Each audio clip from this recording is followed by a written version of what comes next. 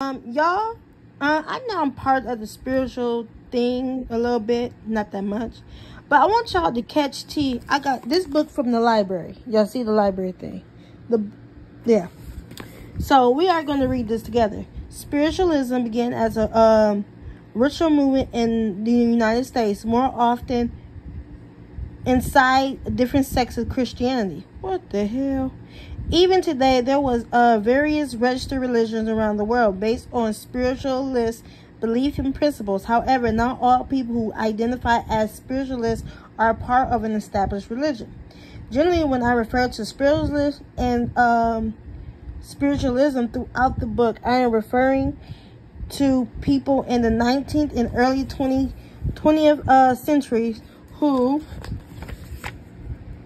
historically believed that communication could take place between the living and the dead.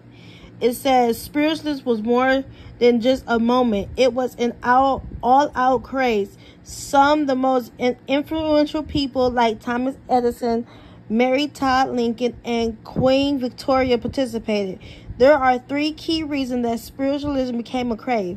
If you remove any one of these factors, it is unlikely that spiritualism ever would have gained the momentum it did. Key one massive death. Death was a constant threat in the 18th, 19th, and the early uh, uh, 20th century. It was always lurking in the shadows, ready to snatch you up the moment you let your guard down. The two biggest um, contributors to the high body count of the time were pandemic, pandemics and war. What pandemic that we was in? It was COVID-19, right? They literally called it the pandemic. Now, we don't want to read all this.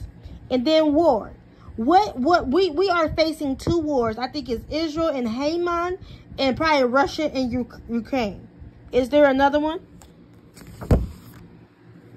And this is advertising. I don't know what is their advertising, but look at this.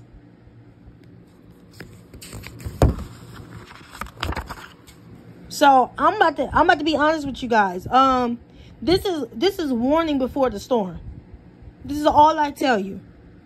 This is warning before the storm. Y'all better take note and take pay attention, to be honest. And I'm gonna be honest, since it's like this feminist right here, Beyonce. Who runs the world? Girls. Okay. Right. Oh my god.